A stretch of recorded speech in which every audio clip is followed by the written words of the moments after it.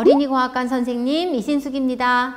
온라인 가족과학교실 오늘 두 번째 시간인데요. 오늘도 역시 선생님을 도와줄 친구가 나와 있네요. 안녕하세요. 안녕하세요.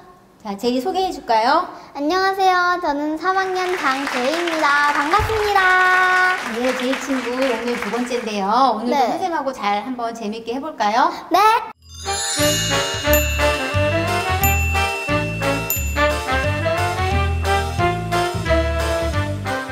제이는 수영 잘해요? 네. 좋겠네요. 선생님은 수영을 못하고요. 물에 뜨지도 못해요. 물에, 물에 안 떠요? 네, 왜 그러는 걸까요? 모르겠는데 다 물에 뜨지 않아요? 어, 선생님은 뜰 수도 있는데 무서워하니까 더 안 뜨는 것 같아요. 아. 그러면 선생님보다 좀 가벼운 달걀은 물에 뜰 수 있을까요? 뜰 것 같아. 그래요? 자, 한번 제이가 달걀을 한번 물에 띄워 볼게요.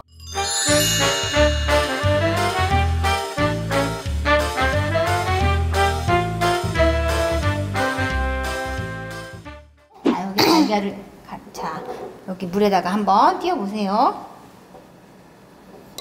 어? 가라앉네요. 뜰 것 같았는데. 가라앉죠? 이상했네. 그럼 선생님이 한번 해볼까요? 자, 네. 선생님도 달걀을 자 한번 넣어볼게요. 네. 자, 수리수리 마수리.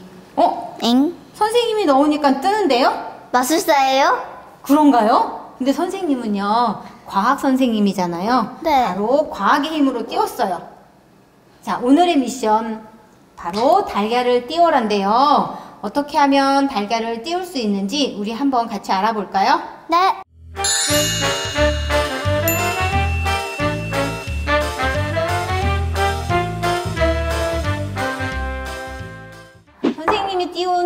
속에는 비밀이 있어요. 선생님이 여기 미리 만들어 놓은 물이 있는데요. 네. 깨끗이 닦아서 넣었으니까 물 조금만 맛을 한번 볼까요? 네. 짜죠? 우짜. 뭐예요? 소금물이에요. 너무 짜요. 너무 짜죠? 자, 선생님이 어우, 짜. 달걀을 띄운 물은 바로 소금물인데요. 네. 소금물은 소금이 물에 녹아있는 용액이라고 해요. 용액이란 두 가지 물질이 각각의 성질을 그대로 가지고 있으면서 골고루 섞여 있는 혼합물이에요. 예를 들어 소금과 물을 섞으면 소금의 짠 성질은 유지하면서 물에 골고루 섞여 있게 되는 거지요. 자, 이런 과정을 녹는다. 그리고 과학적인 말로는 용해라는 말을 쓰는데요. 소금은 눈에 보이지 않지만 아주 작은 알갱이가 되어 물 사이사이에 들어있게 됩니다. 그래서 어떤 부분을 떠 먹어도 짠맛은 똑같이 느낄 수 있고요. 설탕물도 마찬가지예요. 그러면 여기 보니까 미숫가루가 있어요. 선생님이 좋아하는 이 미숫가루는 용액이 네. 될수 있을까요? 될 수 있을 것될 같아요. 수 있을 것 같아요. 그럼 한번 제이 친구, 제이가 한번 해볼게요. 네.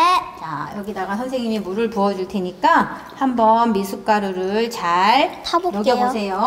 자, 선생님이 한 스푼 넣어줄게요. 네. 자, 넣었으니까 제이가 저어보세요.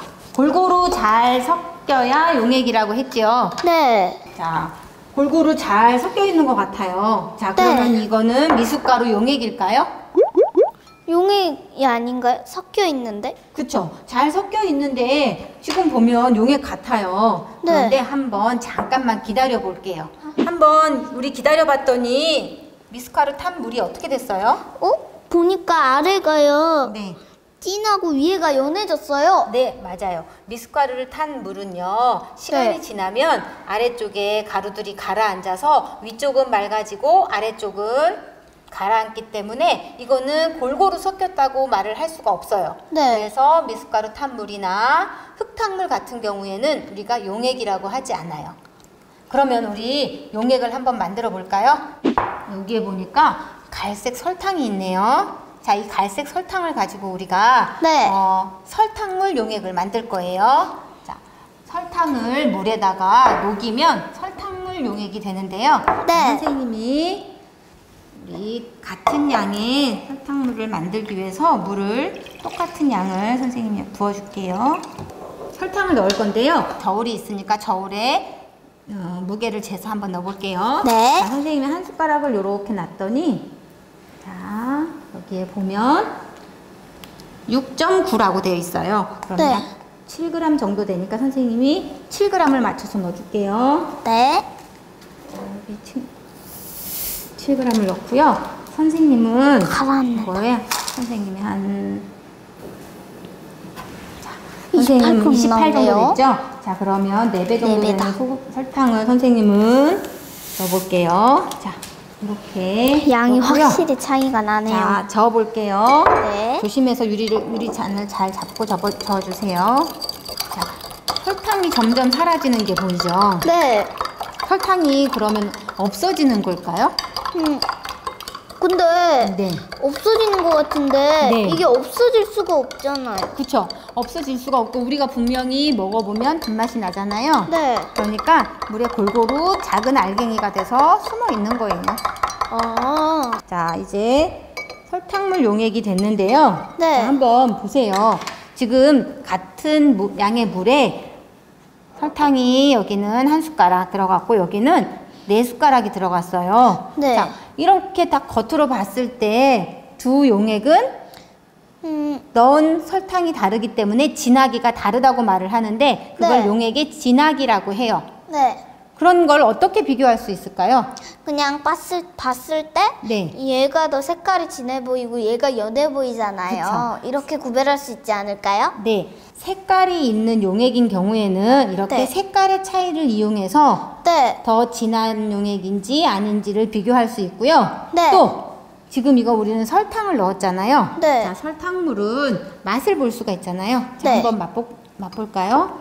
자, 저희가 맛보면 조금 다네요. 다- 설탕을 설탕이 녹았으니까 설탕의 성질을 그대로 가지고 있는 거예요. 자, 그다음에 어, 이게 더 단 것 같아요. 그렇죠. 자, 설탕이 더 많이 녹아 있는 용액은 네. 더 맛도 더 달죠. 자, 네. 이렇게 용액의 진하기는 색깔이나 맛으로도 구별할 수 있는데요. 또 다른 방법도 있는데, 자, 여기에 방울토마토를 한번 넣어볼게요. 자, 방울토마토를 한번 제이. 넣어볼까요? 뽕당. 어? 그럼 가라앉았네요. 그러면 선생님도 한번 넣어볼게요. 네. 응? 어때요? 선생님 건 뜨고 왜 제 건 가라앉아요? 자, 이렇게 용액의 진하기를 비교할 때도 어떤 물체를 넣어봤을 때 떠오르는 걸 보고 네. 용액의 진하기를 알아낼 수도 있어요. 아. 자, 우리가 이렇게 용액의 진하기를 비교해 봤는데요. 네.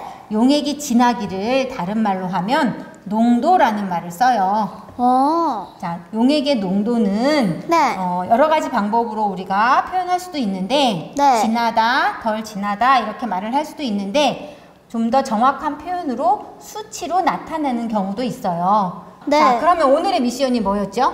달걀을 물에 띄우기요. 네, 달걀을 띄워라는데 우리 달걀을 띄우기 위해서는 우리 소금 용, 소금물 용액을 한번 만들어 볼게요. 네. 소금을 넣는데요.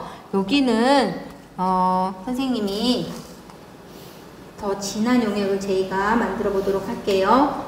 30g인데요. 아. 그러면 6번 정도 되는 건데 이걸 먼저 녹여 볼게요. 조금 더 줄게요. 잠시만요. 더 주실 거예요? 네. 40g 정도를 한번 넣어볼게요. 볼게요. 자, 우리 소금물 용액을 만들었는데요. 이제 네. 우리의 미션 달걀 띄우기 한번 해볼까요? 네.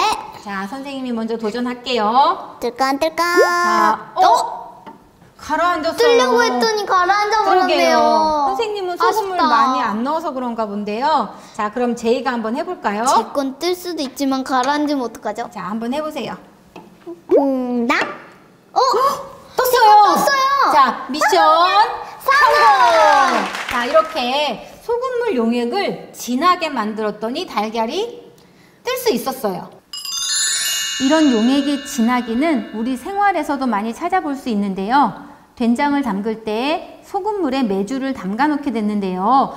적당한 소금물을 만들 때 계란을 띄워봐서 계란에 떠오르는 부분이 동전만큼 떠오르게 되면 적당한 소금물이라고 알 수 있고요. 벽실을 골라낼 때도 소금물에 띄워서 떠오르는 씨앗을 골라내는데 이렇게 불량 씨앗을 찾아내는데도 소금물을 이용하기도 해요. 그리고 선생님처럼 수영을 못하는 사람도 물에 둥둥 뜰 수 있는 사해라는 곳도 있어요. 여기는 바닷물이 갇혀서 호수가 되었는데 물이 계속 증발하면서 바닷물보다 다섯 배에서 여섯 배나 더 진하기 때문에 선생님처럼 수영을 못하는 사람도 얼마든지 떠 있을 수 있어요. 자, 소금물을 이렇게 진하게 만들어서 달걀을 띄웠는데요. 네. 자, 이렇게 진한 용액은요, 소금이 이 물 사이에 아주 빽빽하게 들어있다고 할 수 있는데, 네. 용액에 물질이 빽빽하게 들어있는 거를 우리가 밀도가 높다라는 말을 해요.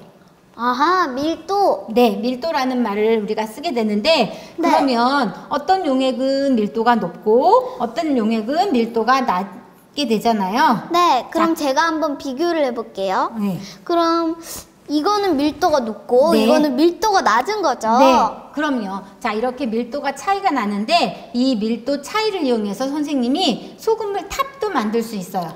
소금물 탑이요? 네, 보통 물은 섞이잖아요. 네. 그런데 그냥 섞여버리잖아요. 맞아요. 그런데 이 밀도가 차이 나는 용액을 이용하면 네. 탑처럼 용액을 쌓을 수 있어요. 아,